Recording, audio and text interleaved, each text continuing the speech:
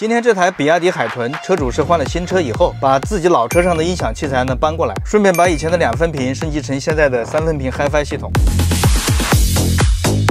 HiFi 系统首先要有一个好的环境，电车开起来呢一般都比较吵，会影响音响的效果。我们就给这台车呢做了全车隔音，包括地板、尾箱、四个门和前轮毂。对于海豚这种隔音基础本来就比较差的车而言，提升明显，开起来呢会安静很多。车主所有的器材呢都装在后排座椅下面，包括两台四路功放，一台单路的超低音功放，还有一台 Mooseway 的八路纯 DSP 呢用来做信号处理。原来的器材是两分频的，我们给它加了一个瑞克尔的柏林中音 BL 杠叉三，把两分频系统呢升级成三分频的系统，做了三分频导模。这个导模的它是有容积的中音导模，现在的位置高度好，而且不影响视线。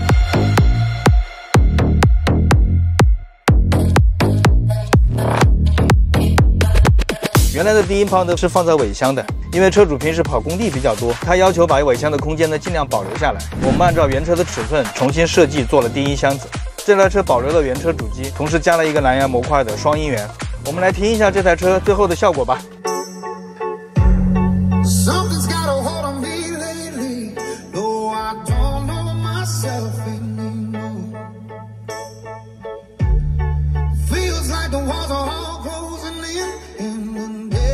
How many